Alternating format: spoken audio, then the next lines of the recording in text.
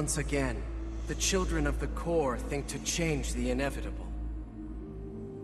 They do not see the truth, the futility of their actions. We bring purity to chaos, serenity to bedlam. All will be consumed. This is necessary and good. The children do not understand. The children believe their lives worth living. The children are wrong. The worlds and the core of the worlds live in pain, agony, discord.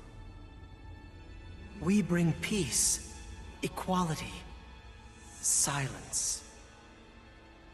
All are one within our embrace. The children resist what cannot be resisted. They fight a battle that cannot be won.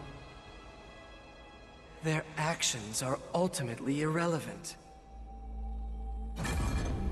No matter how many times they rise, they will be destroyed. Their time is over.